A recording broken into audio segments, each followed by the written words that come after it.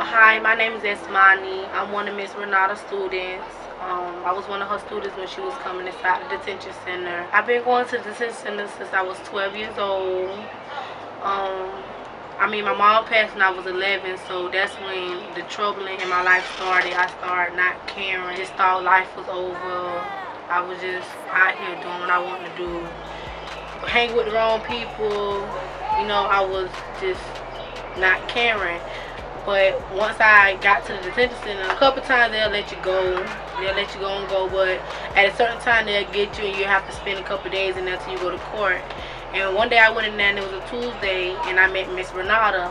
And she sat down and talked to all of the girls. She cut jokes, but in between the jokes she was letting us know like to change our life. It's not over. We are someone. She used to read us books. She made books on the detention as well. She used a couple students she just a big influence on a lot of women life or youth life just like me. Um, at the time I didn't listen to Miss Renata, I just used to let it go in one ear out the other. But now that I'm facing a two year sentence inside prison, it have really like affected me. It have made me open my eyes to everything Miss Renata was telling me wasn't to hurt me, it was to help me. But sometimes people gotta see it for themselves, and I was one of those people. And today at 6 o'clock, I will be turning myself in to do the two-year bid. Hopefully, when I go in there, I, I do right, and they'll cut the time down, but it's, it's, there's no, for sure, they'll do it. So I gotta just face the consequences for the actions that I did. And hopefully by some of the youth seeing my video, they can take what I'm saying and run with it. They they won't have to go through what I'm going through. But then again, it's gonna be a couple that look at my video and say, okay, yeah, whatever, still do what they want to do, still hang out, and then they gonna be in my shoes. And hopefully somebody there, like Miss Renata, to let them tell their story to other people.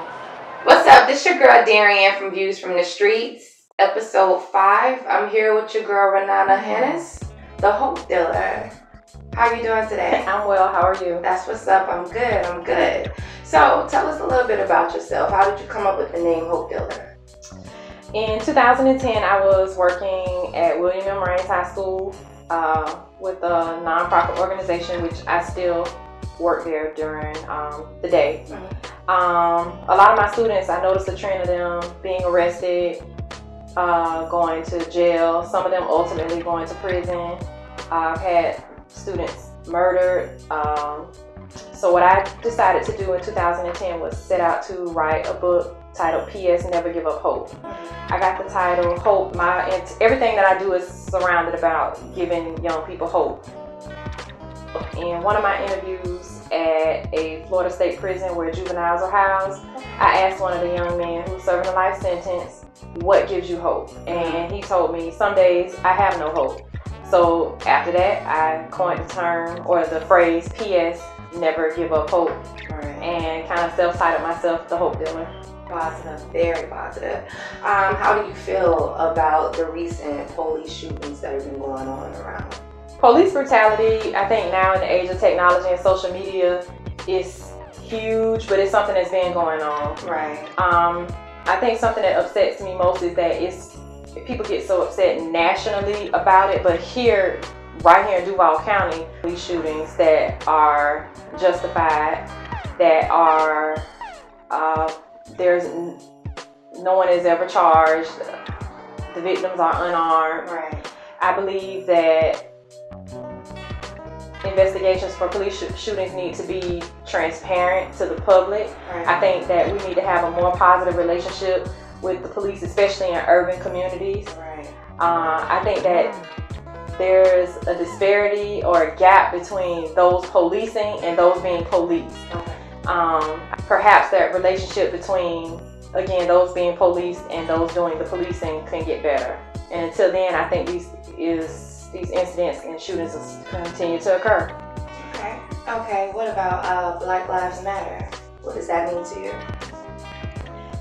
I think the Black Lives Matter campaign has raised a lot of awareness. It's definitely not just a hashtag. Mm-hmm. It's something that has caused a, a paradigm shift in not just us realizing that our lives matter, but our counterparts respecting that our lives matter Right. as well. Right. So I believe in it. Um, I definitely utilize the hashtag, and I think it's raising awareness to what's going on in urban communities across the nation. Okay. I hear a lot of people say that, um, you know, people scream uh, Black Lives Matter. And so it's, it's funny that you're saying that it is of people aware.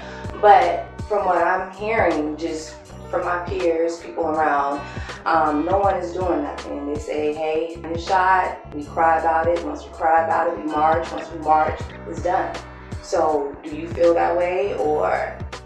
I think there are a lot of people doing a lot of things. I think we need to do a better job um, rather than having a, a lot of silos and islands of coming together and uniting. Right. There are a lot of groups that do marches and protests, but the work is.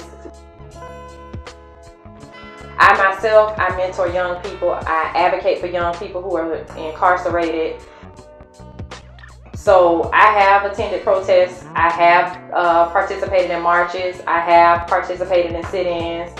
Uh, in 2013, uh, when the in the Trayvon Martin acquittal, uh, I went to Tallahassee and I joined a group called the Dream Defenders.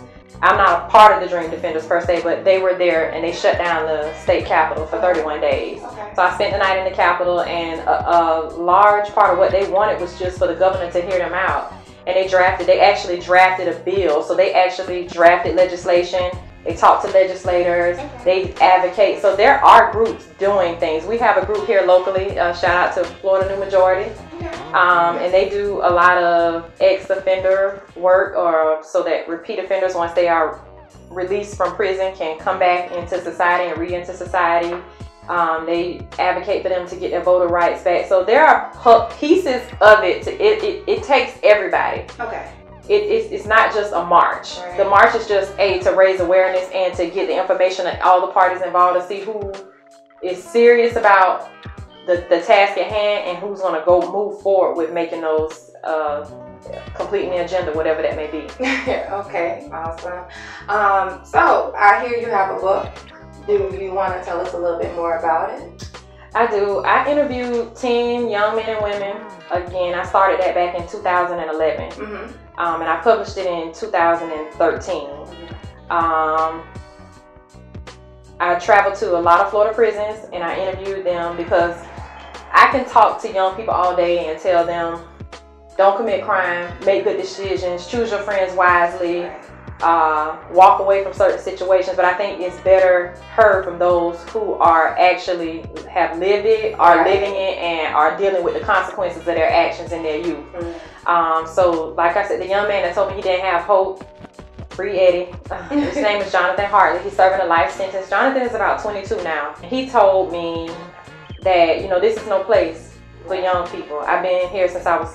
He was been locked up since he was 14 years Oh old. man, yeah. So that happened back in 2009, I believe, in his freshman year at Lee High School here in the city.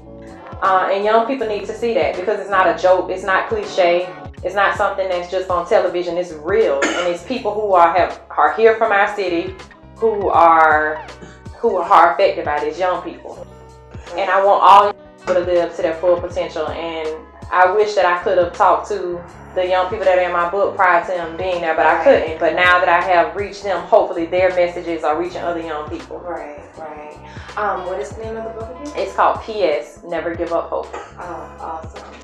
So, do you have any other projects that you're working currently working on right now, or in the future? I do anticipate releasing my second title. It's a nonfiction book, and it's about young. It's about incarcerated women and how men play a role in their incarceration. So I started working on that a long break, and I'm just now getting back into the groove of writing.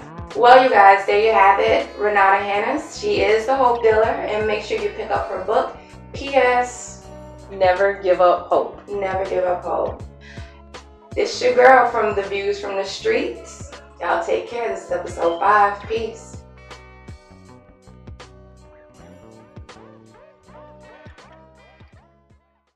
Views from the streets, what's happening? I'm your host Zoe, sitting alongside criminal defense attorney Ashley Goggins. Hey, what's up, everybody? How you doing? I'm doing good. Good to be here. Thank you for coming on the show. Not a problem. Okay, so what inspired you to becoming a lawyer? Well, um, I was gonna go get my master's in business administration, and I just learned through research that being a lawyer, I pretty much have I can do anything I want to do at my liberty. So I felt like, you know, I might as well just go to law school. I can do both. So I went to law school, did both. I had no aspirations of growing up to become a lawyer or anything like that. I just knew that the opportunities that um, would open up to me as becoming a lawyer. So that's why I decided to do. So you went from Raines High School to FAMU, and I know I'm missing one. Um, law school. I went to Stetson. How was that? Um, it's a cultural shock. Um, I went from you know historically black high school to historically black um, college to dominantly white law school. So it was not a lot of lawyers that looked like me. It was a culture shock. I mean, I, I did go to First Coast 9th through 11th, and it was it was not like it is now, but just those eight years of just being around people who look like me. Um, with law school, you're with people who uh, they're dinner tables and talk about different conversations that right. me and my parents talked about. So I felt that for two years I was playing catch up, learning what they learned when they were growing up. Pretty much just had to play catch up. So it was a challenge until like my final year. Especially coming from FAMU. I mean, I learned what I needed to learn at FAMU, but yeah, it was a, it was a culture shock. It was different. The atmosphere was different. So like a normal day for a lawyer, like what's that like? Um, well, it depends on felony court. So my judge starts at 9:30. So I mean, we got to be there at 9:30. We get there around 8:30 to talk to the prosecutors about the cases, what we're going to work out, what we're going to set for trial, and things like that. So we're in court pretty much half of the morning. We get out around 11. Um, we all go to lunch. After lunch, we either have our afternoon meetings, our depositions. So we have a small window when we're actually in our office sitting down based on the work that I do. So the half of the morning I'm in court working, running around, um, negotiating cases, um, talking to clients, and then the bottom half we're just in pre-trial mode where we are talking to witnesses of cases, talking to police officers about their findings, and that's pretty much it. And the rest we answering the telephone calls from our clients. What was one of your toughest cases? I know you can't go into details mm-hmm. about it, but um, I would say outside of I handle now I handle uh, sex cases. So those sex. are gen- like yeah, sex, we call them sex cases um, in the special assault division, and it's pretty much um, molestation, sexual batteries, rape cases, um, child pornography, things like that. Those are hard for me. Um, but I would say my toughest cases is I started off as a juvenile attorney um, and to see my boys, I call them my boys, to see them come back as an adult and meet me in felony, it's tough seeing them because you saw them when it was 14 and 15 and 16, and you tell them, you know, you don't want to go upstairs in the Duval County Courthouse, we call upstairs felony. Oh, you don't want to come upstairs. The time is nothing like it is in juvenile. So just to see, because I've been there for a while now, I'm just seeing cases come back. My juveniles, they're up there in felony with me, and it's like you're not looking at probation now. You're looking at 20 years, and it's really nothing I can do for you, you know. They can't cop a deal. You know, they say a lot of people snitching and stuff these days.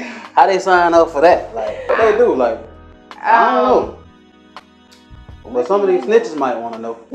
so you can um, pretty much to cooperate with the state. You know, the detectives just have to want the information from you. You can um, cooperate on the way to the jailhouse when you're getting arrested. You can cooperate. You can write the detective. I mean, it's real easy to cooperate, but the officers and the detectives have to want the information. So everybody down there can't testify. And I say the first person to talk get the best deal. So if it's a lot of y'all, you gotta do what you gotta do. For y'all snitches, talk first. I mean, that's what y'all choose to do. I'm not saying do that, but and neither am I. Do whatever you gotta do, but don't come over on this show snitching. We don't want to hear. I was just doing an interview. but nah, outside of being a lawyer, what else you have going on? Um, well, I'm the owner of the credit bar businesses and individual established personal credit and business credit. So if you need your prepared or you want to establish a business and get your business credit, then you can contact the credit bar um, at www.mycreditbar.com or you can contact me at hello at mycreditbar.com.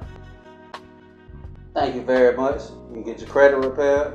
You heard all the information from the lawyer, credit bar. Thank you for coming on Views from the No Streets. problem. I'm your host Zoe, And I'm Ashley. We out.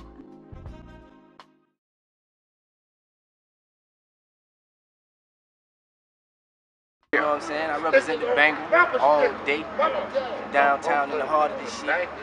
The fundamentals and the basics, you know what I'm saying? My mission is to have 20 million listening, waiting, and anticipating my command. My poetic leadership is so advanced, I'm a threat. Equipped with the necessary means to manifest our black dreams initiated from the chosen. We need another Exodus, I'm the next Moses. This revolutionary shit gonna make them crackers wanna kill me.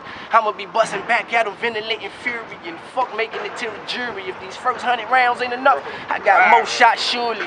Victims of the struggle, so we openly protesting. Bang at the popos in the process, we politically neglected children. That's why we ride and get it crunk if you niggas feel me. Don't deny this real shit, let it be known. I'm the motherfucker that's suitable for the throne, and you niggas gon' crown me. Yeah. Ain't no motherfucking doubt niggas gon' crown me. I got this G shit popping in the continuous rotation. I do it for the love, niggas love me back, greet me with standing ovations. My street lingo mixed with conscious quotations, designed specifically to induce elevation. I'm dedicated to the struggle. I pledge allegiance to see us free and offer my life absolutely. My greatest contribution sealed with my blood. I'm the realest in the field, and I do it just because I can feel the pain and hurting whenever thugs cry.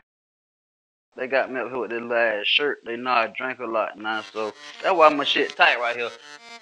Don't trust no chick that messing with your dog. That law. If you come up, don't forget about your dog.